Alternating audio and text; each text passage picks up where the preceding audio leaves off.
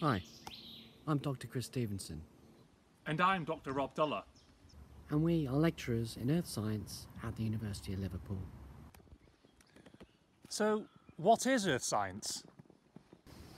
Earth Science uses biology, chemistry, physics, and maths to try and understand the world around us, and, importantly, the rocks beneath our feet. What? Everything around us? Yeah, pretty much, Rob. Okay, so what about sand and mud? You wouldn't think it, but actually, sand and mud have controlled the development of human civilization throughout history. They contain essential minerals and nutrients for things to grow in the ground. Okay, so what about trees and forests? Well, Rob, life has been around on the planet for a very long time about three and a half billion years.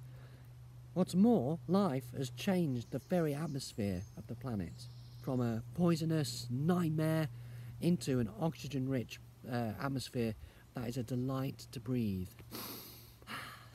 Life has made the very air that we breathe today, and it's all earth science. What about the atmosphere and the ocean? The oceans fundamentally regulate the chemistry and dynamics of our atmosphere.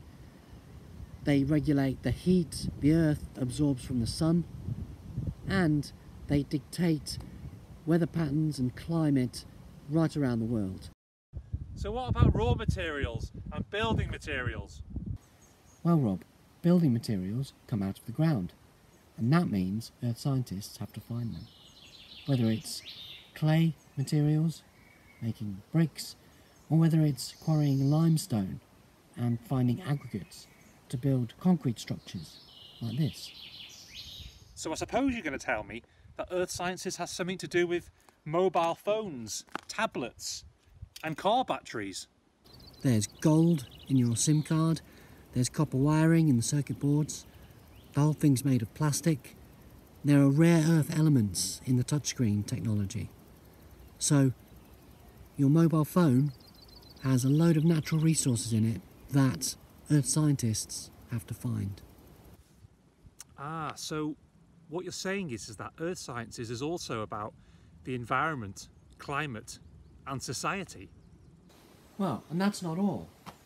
When we look at rocks, we're looking back in the Earth's history over millions of years. Oh, right. So you mean like Sherlock Holmes, but only with a hammer and a hand lens? And rocks can tell us all sorts of things about the past. From long extinct creatures and ecosystems, like the dinosaurs, to ancient paleoclimates. So Earth Sciences is how we know about global warming. Yeah, that's right, Rob. Understanding the chemistry and dynamics of climates of the past tells us what's going on today and what our climate is going to be like in the future. So let me get this straight. Earth Sciences is about the environment and how it works. It's about climate and how it's changing. And also provides us with those raw materials we need to build a more sustainable future society. So to save our planet, We must understand our planet study Earth Sciences at university. and make a difference.